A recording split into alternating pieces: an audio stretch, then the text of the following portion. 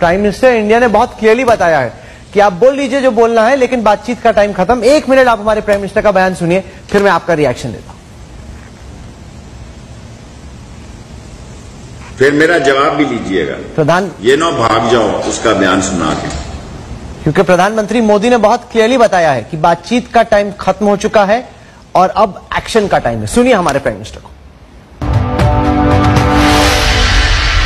सुरक्षा बलों को लिए, आगे की कार्रवाई तय करने के लिए, समय क्या हो, स्थान क्या हो, स्वरूप क्या हो,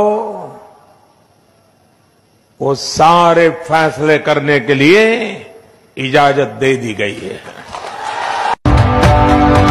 ज़िंदगी की इतनी बड़ी गलती करेगा मोदी के सारी हिंदुस्तान की कौम पछताएगी कि किस शख्स को उसने मुंतखब किया और सारी हिंदुस्तान को सफ़ा हस्ती से खत्म करा दिया। वागा से लेके आसाम के बॉर्डरों तक नेस्तो नाबूद कर देंगे जो पाकिस्तान की तरफ़ बढ़ेगा कदम बढ़ाएगा या मैली आँखों से देखेगा। ये भी नोट कर लेना आज मेरी बात। अपने अपने देश को कब्रस्तान न बनाओ। मोदी सरकार, वोटों की भूखी सरकार, अपने देश में वो आग जलाना चाहती है जिसमें सारा देश जल जाएगा। हम तो सुलह, आपसी दोस्ती, हमदर्दी और कश्मीर की आज़ादी की बात कर रहे हैं। आप हमें सबक सिखाना चाहते हैं।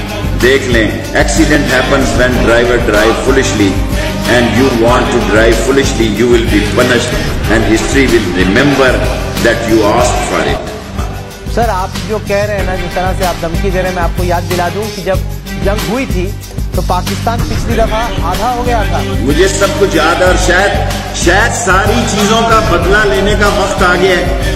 ये सारा कर्जा उतार देंगे। आए आप। प्लीज़ कम ऑन ये सारा कर्जा समेत सूद के अदा करेंगे। मेरा वादा है आपसे। Sir Pakistan I as a- being eight am promising you in the front of whole Indian nation के सारे कर्जे उतार देंगे आपके। बमासूद और धरती याद रखेगी कि एक शेख रशीद ने लाहौर रेलवे हेडक्वार्टर से पैगाम दिया था कि बाद आ जाओ, वरना तुम्हारी दास्तान ना भी होगी दास्तानों में। हम आपको नेस्त नाबूद कर देंगे।